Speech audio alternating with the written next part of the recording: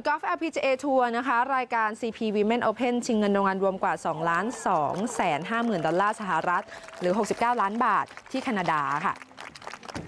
จบรอบสุดท้ายนะคะ โปรเมเอรียาจุฑานุกาล โปรมือ 6 ของโลกชาวไทยค่ะทำสกอร์รวม 14 under par จบอันดับที่ 9 นะคะ ส่วนปาจรีย์ อนันต์นฤการสกอร์ 12 under par อันดับที่ 13 ร่วม และธิดาภาสุวรรณปุระนะคะสกอร์ 10 under par อันดับที่ 25 ร่วมค่ะ